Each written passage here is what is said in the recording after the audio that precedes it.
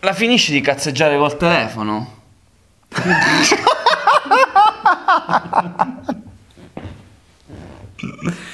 questa cosa... Io questa cosa me la sognerò la notte, lo sai. Allora, c'è un mio amico che oggi fa il compleanno.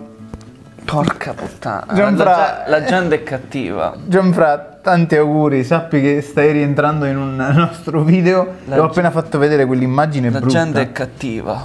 Madonna. È vero? È un'immagine orribile. Un mostro Non fatto... lo girare. No, no, un mostro ha fatto una cosa brutta a un procione. Salve a tutti ragazzi, scusateci, eh, non doveva iniziare così, ma è, stato come un fulmine al ciel sereno, come lo so. Come un cazzo in bocca di fuoco. Stavo dicendo la stessa cosa, ma la mia mente l'ha evitato, invece no. Tu no, tu senza filtri proprio. Io, io sono la voce della verità. Da me non avrete mai un'autocensura, soprattutto se c'è da evitare una volgarità. mi stavo, la mia testa va come un censura, non lo so cosa stavo dicendo. No. Va bene, ragazzi. Ah, Eh, buongio- torniamo, torna- buongiorno, mo buongiorno. torniamo, eh. Buon venerdì. Buon buongiorno. venerdì, buon- Torniamo seri. Allora, Padova, Padova. immediatamente, Padova. Sta- state già riempiendo il teatro, quindi noi vi ringraziamo. L'abbiamo detto due volte, una su Facebook e una da ste parti.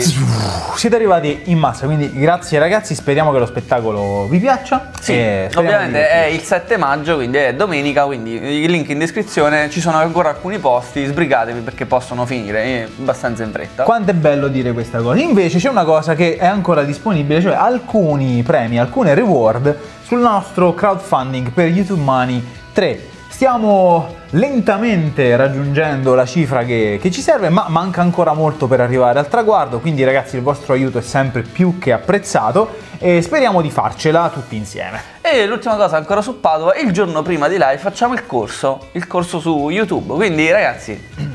Ragazzi- Veniteci a trovare, se siete interessati alla cosa, ci sono ancora dei posti liberi. Ma molti si chiederanno, "No, ragazzi, ma dove trovate il tempo per preparare uno spettacolo, per fare questo corso, per pensare a YouTube Money, per fare i video su YouTube? Patto col diavolo, è facilissimo. Tu vendi la tua anima quando hai 17 anni e poi sei fottuto per tutta la vita. Ma se non altro nessuno ti molesta come molestano alcuni procioni. Giusto? Magari il diavolo vuole farci quello. PlayStation 4. Secondo i tecnici, alcuni guasti sono dovuti agli scarrafoni. Boh, dicono che Horizon Zero Dawn gira male perché ci sono gli scarafaggi. Il noto sito videoludico Kotaku ha recentemente pubblicato, l'avevo letta sta notizia, siccome io ho la PlayStation 4 in camera da letto, c'è la mia ragazza che si è un attimo irrigidita, ha detto non è che stanno i scarrafoni pure là dentro, però non si sa, ha recentemente pubblicato una ricerca effettuata in collaborazione con alcuni tecnici americani riguardo ad alcuni guasti della PlayStation 4. I tecnici hanno affermato di aver riparato parecchie console guaste o malfunzionanti semplicemente aprendo la console e rimuovendo degli scarafaggi presenti all'interno. Morti. Questo non lo dice. Potrebbero avergli fatto una respirazione bocca a bocca per vedere se avevano ancora qualcosa da vivere, ma gli scarafaggi hanno una vita biologica molto breve. Ah, addirittura un tecnico X Cubicle, un negozio videoludico di Manhattan, ha dichiarato che ogni settimana un gran numero di clienti chiede di riparare la propria PlayStation 4 e quasi la totalità di esse è piena di scarrafoni che il povero tecnico deve eliminare in laboratorio per la modica cifra di 25 dollari. La risposta al perché di questa orribile vicenda la dà direttamente la scienza. Gli scarafaggi adorano i luoghi caldi e bui, quindi cosa c'è di meglio di una bella console? In particolare la PlayStation 4 pare, pare risulti particolarmente gradita grazie alle prese d'aria poste in un luogo accessibile e abbastanza grande da permettere agli animaletti di entrare al suo interno. Avete una PlayStation 4 e avete paura degli insetti? Buttatela. Giovanni Arestia a cagioare. C'è una cosa che, che è diversa però, c'è, c'è da spiegarla. Gli scarafaggi eh, presenti in America sono totalmente diversi e differenti da quelli presenti da noi. Sì, Cioè parliamo di una grandezza di 3 cm, credo massima, negli scarafaggi. Adesso non sono un esperto di scarafaggi, parli ma della blatta classica. la blatta classica che siamo abituati a vedere qua, mentre la blatta presente in, in America arriva a queste dimensioni qua. Cioè è tipo una gallina. Cioè... C'è, c'è questa storia di quest'uomo che una mattina si è svegliato e mh, pronto ad indossare le sue scarpe di pelle. In realtà è andato in giro tutto il giorno con i piedi infilati dentro due scarafoni. Sì. Stavo aspettando quando arrivasse la stronzata. C'è di buono che l'uomo a un certo punto si è reso conto del, dell'inghippo, ha smesso di camminare, camminavano loro. Sembrava che fosse sui rollerblade. Vabbè, comunque. Comunque è vero, cioè lì mi preoccuperei perché veramente gli scarafoni sono di queste dimensioni qua, cioè arrivano a 8 cm, una cosa così e li ho visti, eh, li ho visti a, a qualche, come cazzo si chiamano, quelle parti dove fanno vedere, Un vicolo? no? No? C'era, c'era una specie di vivaio eh, dove facevano riprodurre le farfalle a Milano e c'erano pure questi, questi enormi cosi. Che Eh, se le tiravano mentre le farfalle si riproducevano. Porno per insetti, ragazzi. Ma posso continuare? Guarda che è difficile, cioè... Sono le 9.33 di venerdì mattina. Ha già visto una cosa. Ho già visto una cosa tremenda che mi ha segnato tutto il giorno. Niente videogiochi prima degli esami. Preparare gli esami senza distrazione per renderlo possibile la scuola inglese King Solomon Academy ha pensato in accordo con i genitori di confiscare tutte le console nelle abitazioni degli studenti per garantire loro un esito migliore durante gli esami. Quindi le vene sono partite direttamente a queste povere persone che non, si possono, non possono nemmeno godere di antistress. Secondo le testimonianze del presidente, i ragazzi sarebbero arrivati a lezioni in più di un'occasione stanchi per le notti insonni passate su videogame e internet.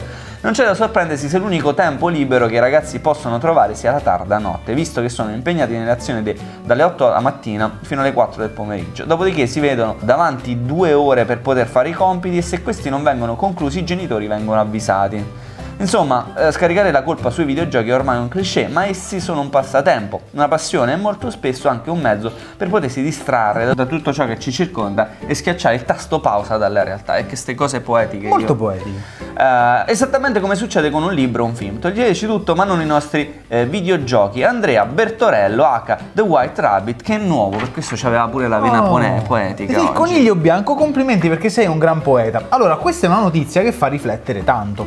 E come giustamente lui dice, eh, mo adesso io ho insegnato anche in una scuola elementare, ho avuto a che fare con ragazzini molto molto piccoli e con i loro, eh, essendo un istituto comprensivo, anche con i loro compagni delle scuole medie. Parlando con questi ragazzini mi sono reso conto che avevano molti più impegni di me durante la giornata. Cioè, veramente facevano scuola, uscivano da scuola compiti, poi dovevano andare a karate, a, a danza, a quello che è, tornavano a casa la sera, mangiavano, evidentemente velocemente perché poi dovevano ripassare delle cose per il giorno dopo e andavano a dormire. Cioè, dimmi tu quando gioca un ragazzino se c'è una giornata piena come quella di un businessman. Eh, è vero.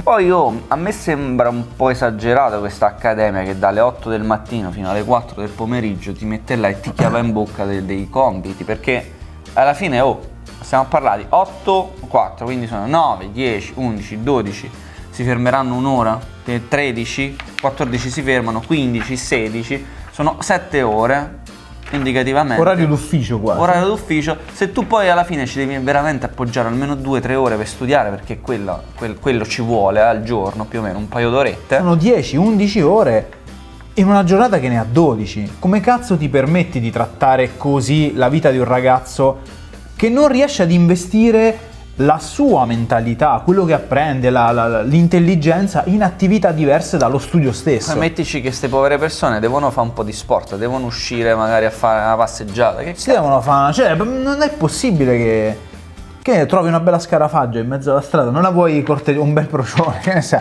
Vabbè, studi sulla dannosità dei videogiochi ritirati dalla pubblicazione. Tan tan tan, ci voleva... E qua vengono smentite le puttanate. Durante la vita di un videogiocatore medio, egli passerà buona parte del tempo ad ascoltare come, secondo anche autorevoli studi scientifici, i videogiochi siano dannosi alla salute e che portano un'inclinazione alla violenza. È questo l'argomento trattato dalle ricerche pubblicate nel 2012 dello psicologo americano Brad J. Bushman, che durante... Uomo cespuglio si chiama questo. Bushman.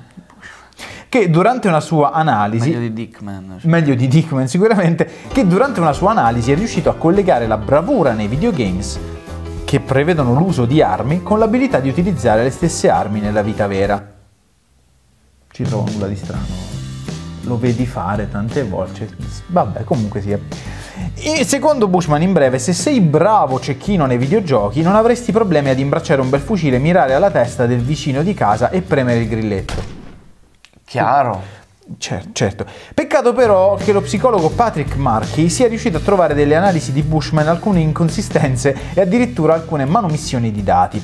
Come conseguenza lo stesso Bushman, dopo un'indagine dell'Università Statale dell'Ohio e una conseguente denuncia per cattiva condotta, si è trovato costretto a ritirare il suo articolo dalla pubblicazione, mostrando però determina- la determinazione nel voler dimostrare quanto i videogiochi siano dannosi. Ce lo vogliamo immaginare così, pugno alzato verso il cielo, giurando vendetta verso il nostro eroe. Riuscirà il perfido dottor Bushman a completare il suo piano malvagio? Le scoperte del prossimo DLC.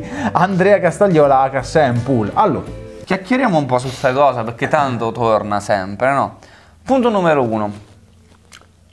Potrebbe esserci un fondo di verità, nel senso che se tu è provato, nel senso che ci stanno dei casi in cui bambini di 8 anni prendono la macchina, vanno al, bec- al McDonald's, almeno questa è una notizia, potrebbe essere una bufala perché ne girano tante, però mh, penso che la fonte fosse abbastanza attendibile. Un bambino di 8 anni in America va a prendere il- un panino al McDonald's perché aveva imparato a guidare su un gioco. Può un simulatore. Sembra una cazzata, potrebbe essere una cazzata, ma non, non si discosta troppo dalla, dalla realtà. soprattutto perché in America c'è il cambio automatico. Sì, eh, alla fine metti, metti il piede sull'acceleratore e quella va da sola. Cioè, se, se a casa sto ragazzino ha uno sterzo e dei pedali, non cambia niente. Cioè, è la stessa identica cosa. Quindi, se guidi nel videogame, guidi nella realtà. Quanto alle tattiche di guerriglia, se tu giochi a Battlefield con i tuoi amici, è chiaro che hai una certa inclinazione a coprire uno spot piuttosto che ad aggirare il nemico.